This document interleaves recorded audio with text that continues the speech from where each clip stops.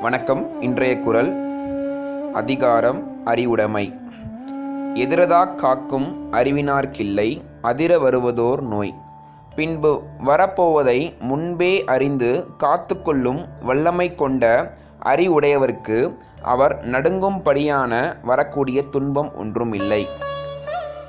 நாளைக்கு என்ன நடக்க போகுது அப்படின்னு முன்னாடியே வந்து வல்லமை கொண்ட அறிஞர்களோ இல்லை அறிவுடையவர்களோ அதை தெரிஞ்சுக்கிறது மூலயமா அவங்களுக்கு வந்து அவ்வளோ பெரிய கஷ்டம் எதுவும் நடக்க போகிறதில்ல அப்படின்னு சொல்லிட்டு வள்ளுவர் சொல்கிறாரு மீண்டும் குரல். எதிரதா காக்கும் அறிவினார்க்கில்லை அதிர வருவதோர் நோய்.